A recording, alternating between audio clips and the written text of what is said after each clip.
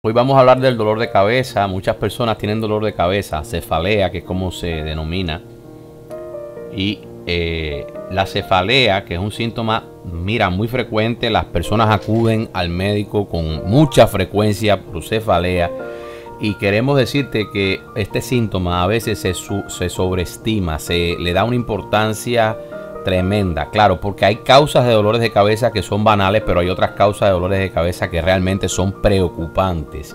Sin embargo, la mayoría de los dolores de cabeza son por causas que son solucionables y ya te digo, es la inmensa mayoría. Ahora, vamos a hablar de ellos. Hay una serie de banderas rojas que uno tiene que tener en cuenta cuando tiene un dolor de cabeza y es que eh, hay síntomas sistémicos que puede tener el paciente. Por ejemplo, los signos de meningitis y la fiebre es una bandera roja a tener en cuenta. Fiebre y signo de meningitis. Eso quiere decir rigidez nucal, vómitos y una cefalea persistente que se va incrementando con el tiempo. Esto es un síntoma, eh, son síntomas agudos que aparecen de pronto y a veces hay confusión mental y demás. Síntomas neurológicos, de disfunción neurológica como convulsiones o alteración del estatus mental también es una bandera roja. Hay que tener en cuenta esto el comienzo de cefalea de manera abrupta, muy abrupta, muy aguda. Por ejemplo, en el caso de las hemorragias subaranoideas de un paciente hipertenso, un paciente que tiene malformaciones en el cerebro, el dolor de cabeza puede aparecer de manera súbita. La ruptura de un aneurisma puede ser súbito. Por lo tanto, el dolor de cabeza se percibe como el más grande que se ha tenido en la vida y de momento aparece. Es agudo la edad de comienzo por encima de los 50 años de edad. Ya hay que, cuando una persona tiene sin más de 50 años de edad, hipertenso, tiene factores de riesgo, hay que ver por qué está ocurriendo esto, porque puede ser una hipertensión severa descompensada. Y la presencia de papiledema también es una bandera roja, es decir, Papiledema no es más que el edema de la papila, la papila en el fondo de ojo. Esto se ve haciéndole un fondo de ojo y es un signo de incremento de la presión intracraneal y el dolor de cabeza progresivo. O sea que si tuviéramos que decir que tendríamos síntomas como de bandera roja, tenemos el recurso Snoopy. Snoopy como el muñequito este, el perrito. Vamos a decir fiebre, síntomas meningios, eh, déficit neurológico, disfunción neurológica, alteración del estatus mental, convulsiones, comienzo abrupto, edad más de 50 años, papiledema, siempre darle importancia al papiledema porque es aumento de la presión intracraneal, se ve en el fondo de ojo y dolor de cabeza que es progresivo, sobre todo en una persona mayor de 50 años. Pero si nos fijamos, el dolor de cabeza, por ejemplo, la mayor parte de los dolores de cabeza son dolores de cabeza tensionales. Es decir, el 40-80% de los dolores de cabeza, y lo vamos a ver aquí, son dolores de cabeza tensionales. Y la migraña, alrededor del 10% de los casos. Y por supuesto, vamos a ver una serie de factores que pueden ser factores de riesgo para estratificar el riesgo de un dolor de cabeza. Por ejemplo, vamos a aclarar cuando un dolor de cabeza es de bajo riesgo, es decir, que no hay que preocuparse tanto. Mira, generalmente cuando la persona tiene menos de 30 años de edad, cuando es un dolor de cabeza primario, esto quiere decir un dolor de cabeza primario, vamos a decir que es un dolor de cabeza que no hay una condición médica asociada, ¿ok? Aquí vamos a analizar los tres tipos fundamentales de dolores de cabeza en esta pequeña clase. Vamos a ver la migraña, la cefalea por tensión y la cefalea en racimo o, en clusters. Esto lo vamos a, diferenciar uno de los otros. Y vamos a ver que también la experiencia previa similar de dolor de cabeza en un paciente joven no es eh, algo de que, que preocuparse. En la ausencia de síntomas neurológicos, eh, cuando hay un dolor de cabeza típico, es decir, que es repetitivo, que hay un patrón, y cuando no hay historia reciente, digamos, ni de enfermedad, eh, cáncer, enfermedad por VIH, porque el VIH a veces hay infecciones del sistema nervioso central que pueden dar dolor de cabeza, o enfermedad del IME. La enfermedad del IME es una enfermedad que se produce eh, en, no en todas las regiones, se produce por la borreliosis. Eh, la enfermedad del IME es una Borrelia burgoferi, una bacteria del género de la Borrelia que es capaz de producir una infección sistémica que agarra las articulaciones, las pieles, el sistema nervioso central. Y esto es típico, pero de unas zonas específicas del planeta, no en todos los lugares. No es que sea una enfermedad cosmopolita presente en todo el mundo. Ahora sí hay una serie de síntomas que te pueden decir, ah, bueno, tengo que preocuparme del dolor de cabeza porque es un dolor de cabeza de alto riesgo. Aquí tendríamos que pensar, cualquiera de los factores estos que mencioné que tendrían que prender una bandera roja para el dolor de cabeza. cualquier característica de que sea un dolor de cabeza secundario. ¿Secundario a qué? Secundario a múltiples causas. Podría ser VIH, infección del sistema nervioso central, una persona que tenga, por ejemplo, un aneurisma diagnosticado incidentalmente, una persona que tenga cáncer, una persona que tenga eh, una diabetes mellitus con hipertensión descompensada, colesterol elevado, factores de riesgo cardiovascular, eh, pérdida sensorial, pérdida motora de manera aguda, convulsiones, todo esto son eh, causas que pueden hacerte llamar la atención. El síndrome de Horner, que no es más que miosis y trastornos en lo que es la sensibilidad de la cara. Parálisis facial, aumento de la temperatura de la cara. Este síndrome de Horner, miosis, cierre de la pupila con eh, toxis palpebrales y la caída del párpado por compromiso del músculo tarsal. Esto puede ser una eh, cefalea ya que hay que estudiarla y puede ser un poquito más preocupante. Eh, síntomas acompañantes como fiebre, mialgia, siempre son dolores de cabeza, puede ser por dengue, puede ser por chikungunya, puede ser por malaria, dependiendo del contexto epidemiológico donde la persona se encuentre. Eh, también dolores de cabeza que sean eh, eh, desencadenados por la tos, por el esfuerzo o por el sexo. Esto porque muchas veces esto está relacionado con aumento de la presión intracraneal y ruptura de aneurisma. Muchas veces la cefalea por ejemplo, cuando se ve en el curso de vasculitis, hay que mencionar la arteritis temporal, que es una causa de dolor de cabeza hemicranial y aquí hay compromiso de las arterias, específicamente de las arterias que irrigan eh, el cerebro en una porción del cerebro, pero es un dolor de cabeza que se acompaña de claudicación de la mandíbula, generalmente se ve en mujeres, personas más de 50 años y es una vasculitis, es decir, hay una afección de un vaso sanguíneo, en este caso arterial y por supuesto los antecedentes de VIH, enfermedad del IME, estas cosas. Por supuesto que vamos a hablar hoy de los tipos de dolores de cabeza y vamos a ver el primero, la cefalea por tensión. Vamos a ver la cefalea por tensión. Vamos a ver, mira, una cefalea por tensión eh, los desencadenantes son variables. Inicialmente puede haber depresión, puede haber desórdenes de ansiedad, puede haber estrés, como ves aquí. El estrés es algo que puede producir la cefalea por tensión. Fíjate que es una cefalea como si hubiéramos colocado un tornillo de banco en la región frontal del paciente. Tiene un carácter bilateral desde los dos lados. Es como si tuviera una banda el paciente en la región frontal, es decir, en el frente. Es un dolor de cabeza que no pulsa, no es pulsátil. Eh, la cualidad de este dolor es que es un dolor eh, como un tornillo de banco, ya lo dice, es un dolor sordo, es un dolor intenso pero sordo, es un dolor eh, bastante eh, localizado, sin embargo su característica de ser molesto, sordo, hay síntomas adicionales que puede aparecer, este paciente que por ejemplo está estresado, este paciente puede tener una sensación de que los músculos de la nuca están tensos, hay una tensión en los músculos de la nuca, además de esto puede haber molestias a la luz, puede haber, la luz puede molestarte, los sonidos te pueden molestar de manera muy, muy común. Esto es típico de que la luz y los sonidos, o sea, hay, fotofobia y fonofobia. La profilaxis, bueno, ¿se puede evitar este dolor de cabeza? Sí, bueno, con relajarnos basta, masajes, los cambios de conducta que tiene la persona, cambios de conducta incluyen los cambios en el horario de sueño, no beber eh, café, alcohol, estas cosas que pueden desencadenar el dolor, evitar, bueno, el estrés es imposible evitarlo en la sociedad occidental, pero eh, evitar el estrés es algo importante. Y bueno, si el dolor se convierte en un dolor de cabeza crónico, pues bueno, nada, tenemos que ver un especialista siempre que el dolor de cabeza siga molestando.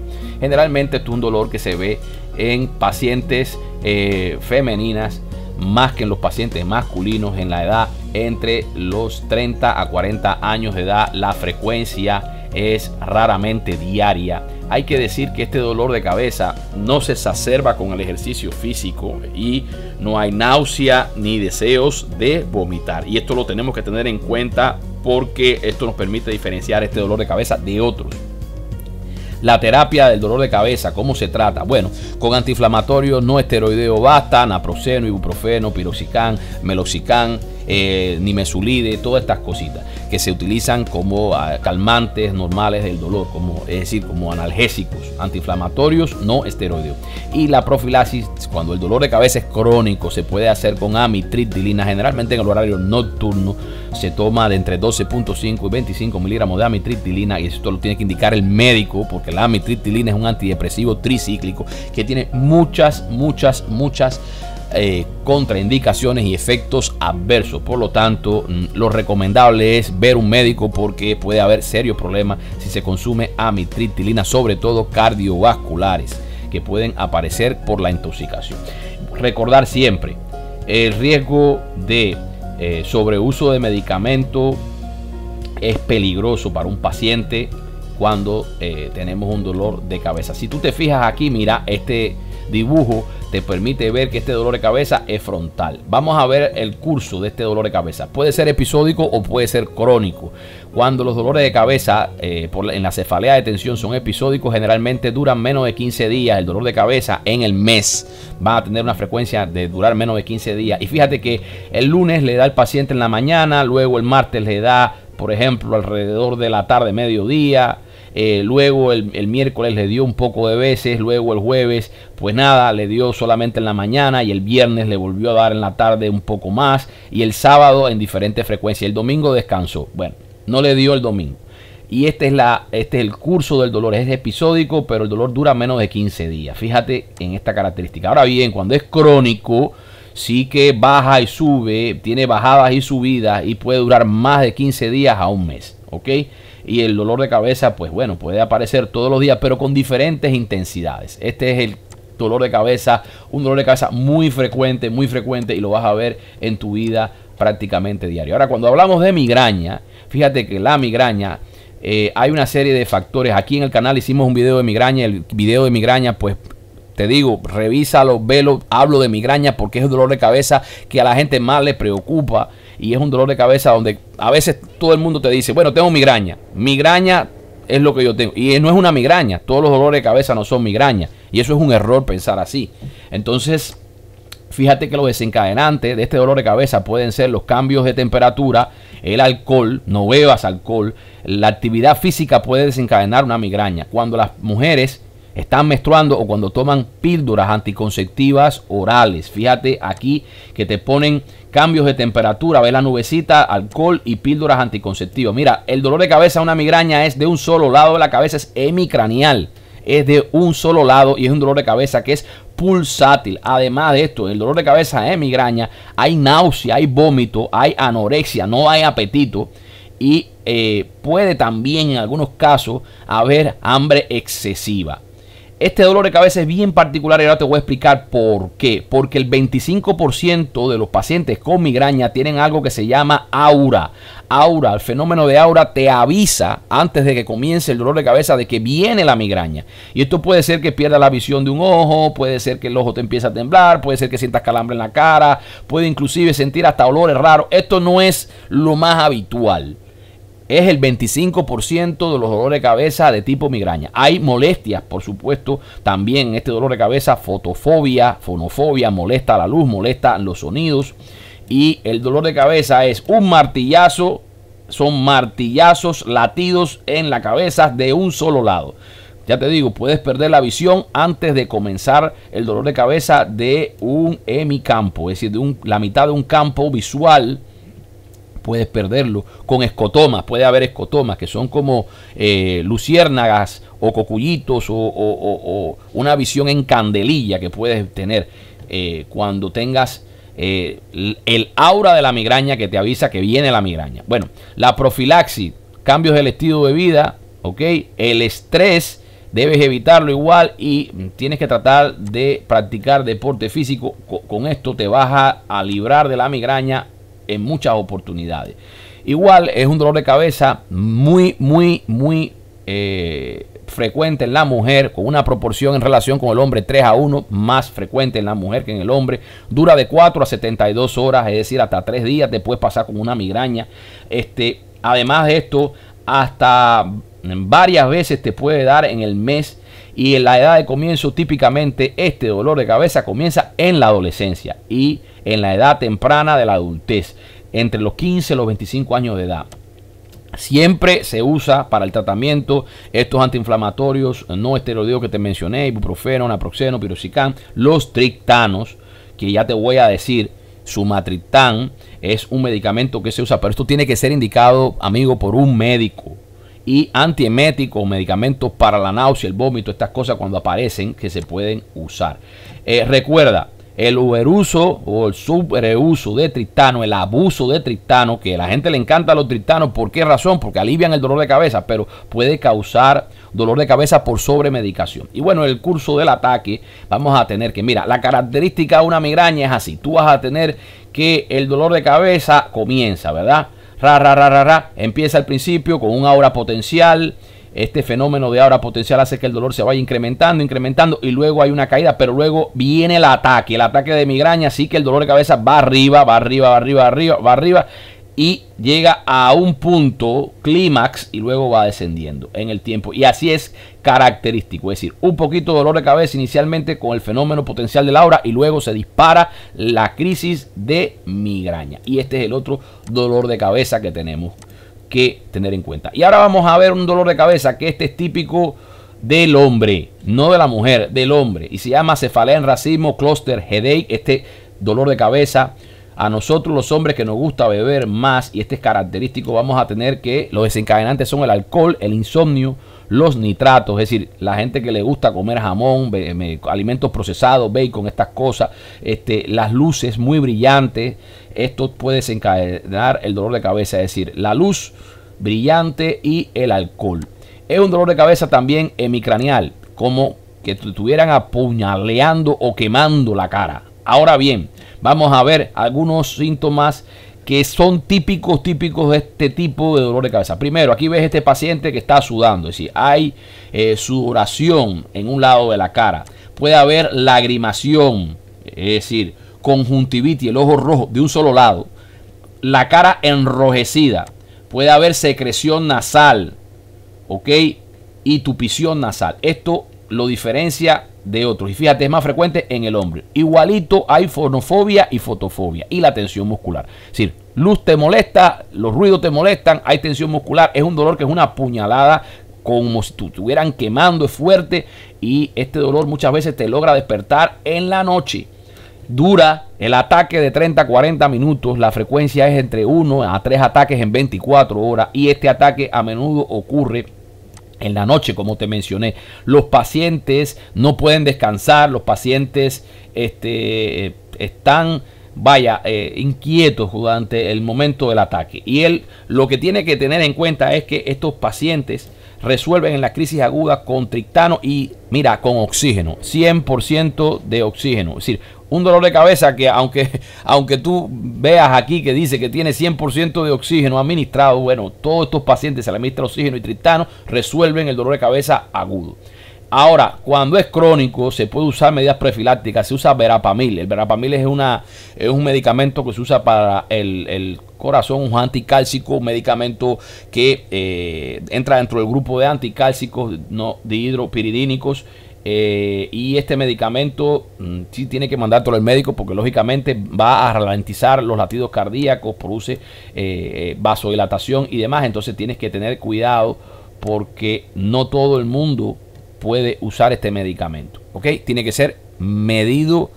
el paciente tiene que ser evaluado. Entonces vamos a ver el curso de este ataque. Son los periodos son eh, los ataques agudos da varias veces en el día, puede dar varias veces en el día, en la mañana y en la tarde, mañana y tarde, mañana y tarde, dos horarios del día generalmente, es variable, ¿ok? Pero eh, generalmente eh, no es tan frecuente que sea crónico, pero el dolor crónico puede existir, ¿ok? Y te puede durar durante mucho, mucho, mucho, mucho tiempo en el año, ¿ok? Pero eh, generalmente lo que más se ve es el dolor, los ataques agudos episódicos. Por ejemplo, te da en enero y te da en diciembre. No se va a mantener todo el año, pero hay algunos casos que pueden hacerse crónico. Entonces, esto, ¿cómo lo sabemos? Que es un dolor en racimo, por lo que te mencioné. Cefalea tensional, tensión muscular, fotofonofobia y vas a tener el lagrimeo, el moqueo, la conjuntivitis y después de beber un dolor que es una puñalada con enrojecimiento de la cara. Hay flushing. Bueno, creo que te he hablado bastante de los dolores de cabeza. Si me pongo a, a reflexionar ahora en los tres, vamos a decir, en la migraña el dolor es martillante, eh, es como pequeños martillazos en la cabeza, pulsante, unilateral. El dolor de cefalea tensional es una banda bilateral, compresivo. El dolor de eh, la cefalea en racimos es unilateral, al igual que la migraña, pero aquí es como que es una puñalada quemante. En la migraña tenemos que el comienzo es progresivo, lentamente, dura más de 70, hasta 72 horas. Este dolor de cabeza, que es el dolor de cabeza eh, por tensión, inicialmente episódico, pero puede progresar a la forma crónica del dolor de cabeza y el dolor de cabeza en clúster. Los ataques pueden durar por semana, seguido de periodos de remisión en el 75% de los casos. No es frecuente que esté todo el tiempo, pero sí que puede durar más tiempo, pero remite, va a remitir el paciente. Recuerda que te despierta en la noche muchas veces. Este dolor de cabeza de la migraña a menudo está acompañado de náusea, vómito, fonofobia, fotofobia y acuérdate que 25% tienen aura. Este dolor de cabeza de eh, la tensión, o sea, la cefalea tensional, no hay náusea, no hay vómito, no hay fotofobia, pero perdón, hay fotofobia y hay fonofobia. Y en el caso de eh, la cefalea en racimos, pues aquí lo que vas a tener es que aquí hay eh, síntomas autonómicos, quiere decir lagrimeo, moqueo y sudoración. Vamos a ver que este en el caso de este dolor de cabeza, el dolor de cabeza en clúster es más frecuente en hombres. Aquí en la migraña y en la tensión, en cefalea por tensión es más frecuente en mujeres. En la migraña sí que comienza tempranamente, entre 15 y 25 de años y en la persona que tiene dolor de cabeza por tensión es entre los 30 y 40 años y recuerda que el ejercicio no lo exacerba, en cambio la migraña el ejercicio lo puede exacerbar. La migraña, cuidado con el sobreuso de medicamento. Aquí recuerda que en la cefalea por tensión los síntomas autonómicos están, no están presentes, no, no tiene síntomas autonómicos. Bueno, esto es lo que te quería mencionar, que he hecho un un diagnóstico diferencial de los tres dolores de cabeza. Espero que esto te haya servido. Comenta si tienes algo eh, como esto. Espero que te haya gustado el video, te haya servido. Y recuerda que el que no vive para servir no sirve para vivir. Suscríbete a nuestro canal y te estamos esperando en el próximo episodio. Gracias.